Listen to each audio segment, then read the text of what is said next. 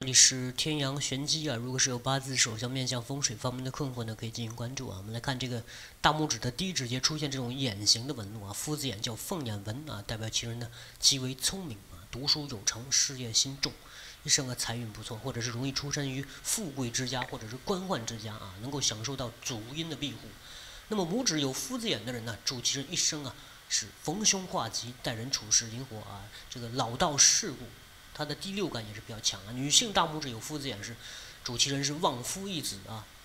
大拇指如果是说第一和第二指之间出现这种偏财纹啊，这种格子状的偏财纹，这个代表聪明机警，可以获得偏财的这种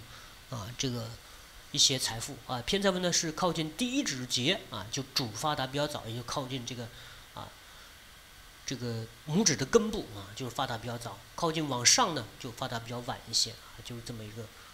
但是无论怎么样呢，都是早年呢啊，就是经历一些坎坷，到了中年以后，至少是过了中年才能够有这个